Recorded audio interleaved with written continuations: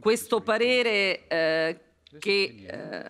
permetterà al Comitato delle Regioni di assumere una prima posizione sul futuro e sulle prospettive del Fondo sociale europeo è molto importante perché si inserisce anche nella fase eh, attuale di proposta per il nuovo quadro finanziario pluriennale che ovviamente non riguarda soltanto eh, il tema della riduzione delle risorse disponibili in seguito all'uscita della Gran Bretagna, secondo contributore netto dell'Unione, ma anche alla necessità di affrontare politicamente nuovi bisogni e priorità eh, che non hanno trovato fin qui adeguati finanziamenti nell'ambito della sicurezza interna ed esterna dell'Unione, delle migrazioni, delle sfide eh, tecnologiche. Ma soprattutto ci troviamo di fronte anche ad un'Europa che ha sempre più bisogno di affrontare all'interno dei paesi il fenomeno della crescente disuguaglianza dei redditi, il rischio di compromettere la coesione sociale.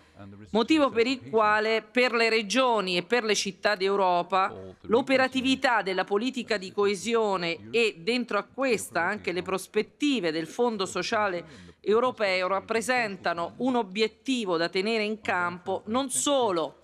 per assicurare la convergenza dei territori più sfavoriti, ma anche per consentire a tutte le regioni europee di fronteggiare l'innovazione la competitività territoriale e la, sua, e la propria coesione sociale. Sicuramente nel dibattito dei prossimi mesi L'accentuazione della dimensione sociale nelle politiche dell'Unione è una priorità necessaria. Non a caso discutiamo anche di un pilastro europeo dei diritti sociali come necessità anche per riconnettere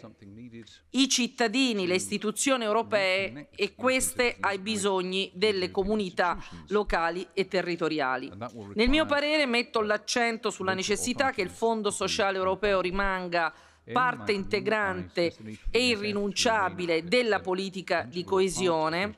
e che questo possa rappresentare uno degli strumenti adeguati, anche integrati con altri programmi, per affrontare le sfide che abbiamo uh, di fronte. Va respinto ogni tentativo di introdurre l'obbligo di programmi monofondo nell'ambito della politica di coesione. Il Fondo sociale europeo nella proposta di parere resta, eh, deve restare un fondo a gestione condivisa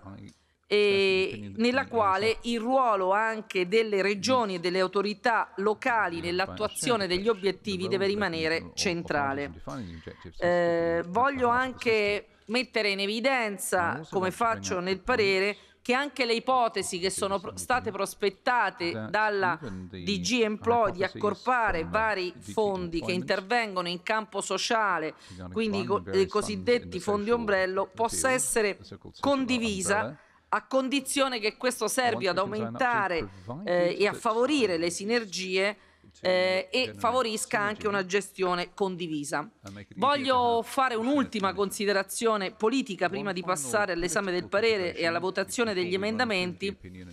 per l'importanza che il Fondo sociale europeo io ritengo abbia per l'Europa, ma anche eh, per quanto ci riguarda consideriamo importante per la nostra famiglia politica che l'Europa sociale debba essere una priorità dell'agenda europea dei prossimi anni. E il fondo è anche uno strumento attraverso il quale possiamo lavorare insieme, le regioni, le autorità locali, sulle questioni sociali e soprattutto è attraverso anche queste politiche e questi programmi che noi possiamo fronteggiare molte delle frustrazioni, delle preoccupazioni e del malcontento crescente in Europa, come più volte le elezioni elezioni anche all'interno dei paesi europei hanno mostrato.